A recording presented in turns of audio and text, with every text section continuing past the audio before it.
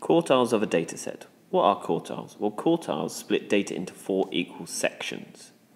And how do we do that? Well, one, we order the numbers and find the median, and then find the median of each of the halves. And they give us the three quartiles. Let's start on this first one. So let's find the median.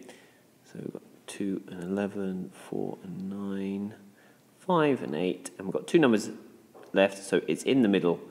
So the median, or Q2, is 7. Now we find the median of each half. So we've got 2, 4, 5, 6 is the first one, so let's pair them off. So that means it's going to be halfway between here. So Q1, the lower quartile, is 4.5. Let's do the same for the other one. We've got 8 and 11, so it's halfway between here. So Q3 is going to be 8.5. Okay, let's go on to the next example. So again, let's pair them off until we're left with 1 or 2 in the middle. So this one we're left with 1 in the middle. So our median, or Q2, um, is 9.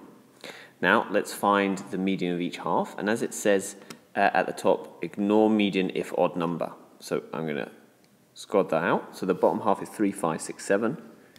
So 3 and 7. So it's going to be halfway between those two numbers. So Q1, the lower quartile, is 5.5. And the upper quartile is going to be 11. Let's keep going with these two examples.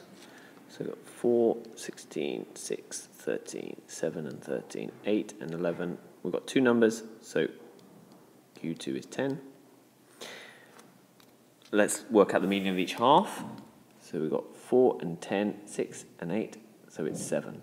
So Q1, the lower quartile is 7, 10, 16, 11, 13. So it's 13 up here. So Q3, the upper quartile is 13. Let's keep going. 1 and 14, 3 and 12, 4 and 10, 5 and 10, 7 and 8.